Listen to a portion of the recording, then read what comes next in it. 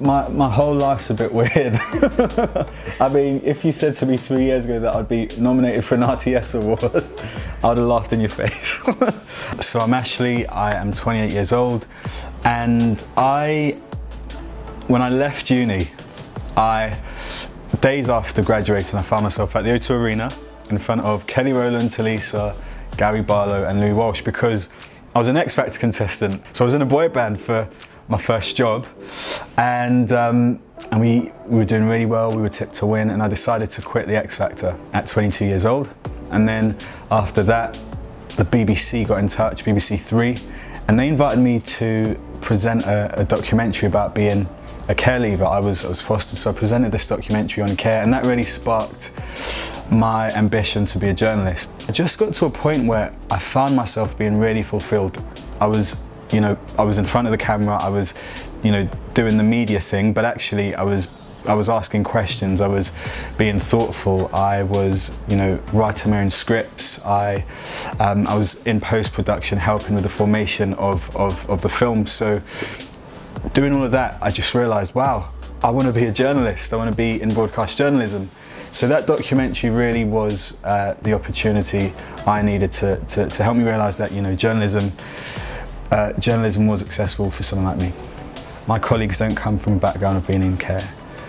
Most are privileged, most are, are, are white, and so as a, as a mixed race South London care leaver, my perspective is totally different. And when I started at the BBC, I think I was reticent about bringing myself to the table.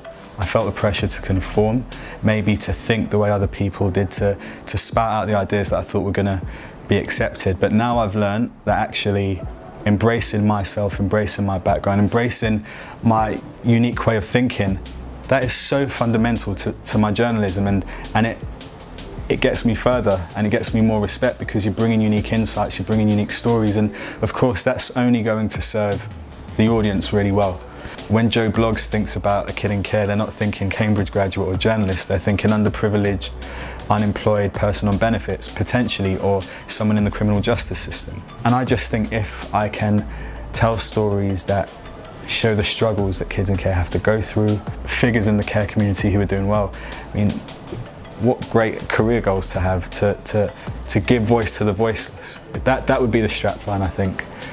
You know, in the stories that I do, giving voice to the voiceless, giving them a platform, giving them a spotlight. And that's what the Victoria Derbyshire programme is about. Um, a lot of our content, and that's just the editorial goal to give voice to the voiceless, whether it's, you know, um, speaking to footballers who've experienced abuse or whether it's speaking to Grenfell survivors or whatever. You know, I think the strapline of Derbyshire, the Victoria Derbyshire programme, absolutely is about giving voice to the voiceless.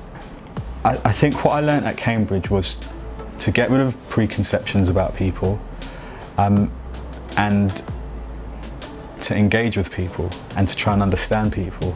And, you know, that has served me so well in journalism. Like, wow, like I can, I can go to, you know, a community that I've never, you know, engaged with before and I can let go of preconceptions and I can try and understand people and I can try and find stories and bring that to the full. What an amazing job. Career highlight for me, um, I have to say, being able to take such a lead on, on covering the Grenfell Tower fire and you know, meeting with survivors, filming with them, telling their stories, I've been really impacted by, by the story. Oluwaseun Talabi is a Grenfell survivor. I met him days after the fire. He was he was living at a hospital because he, he had nowhere to live for two weeks. And seeing him get back on his feet, seeing him provide for his four-year-old daughter, seeing him try, you know, trying to get a passport, trying to just navigate this awful incident and just seeing how he's developed over the past seven months since the fire. It's just been really rewarding, it's impacted my life and it's, I, I think that's a beautiful thing about journalism is that you're, you know, you're, you are immersing yourself into the lives of other people, often marginalised people, voiceless people, and when you see, when you get that insight, it does change you, it impacts you, and yeah, absolutely, there's nothing better. To think that someone with my social background can be in the mix of winning an RTS is great. It shows that the future of journalism is really exciting, that And I'm hoping that just by being nominated, you know, another kid in care, another care leaver is going to see that and aspire to to be a journalist.